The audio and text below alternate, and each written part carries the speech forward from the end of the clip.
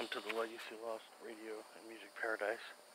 And just saw a couple bolts of lightning in this uh, purplish pink, blue, amazing cell to my west southwest.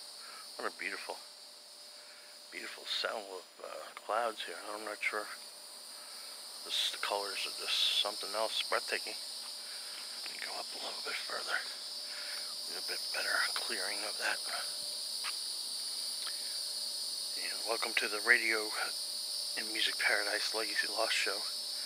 I haven't done much um, radio too much, not much going on. I took my uh, 2 meter 440 antenna down. I'm going to put a tri-band up. Uh, I got a hacksaw, a pipe down a little bit, and for the mast, and then I'm going to put that up. I'm going to wait a little bit until we get out of this prime hurricane season. I was just seeing some uh, lightning bolts here to the west southwest, right in this area here.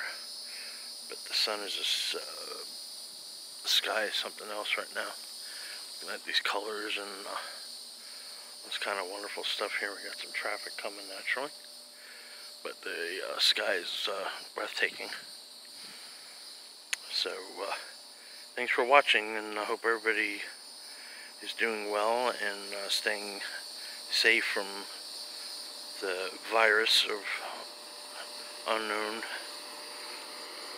And uh, we'll take care of uh, each other and get through everything here just good. So, anyway, I'm trying to get the traffic to pass by me. These old Q-tips and the, uh, I call them Q-tips and these golf carts.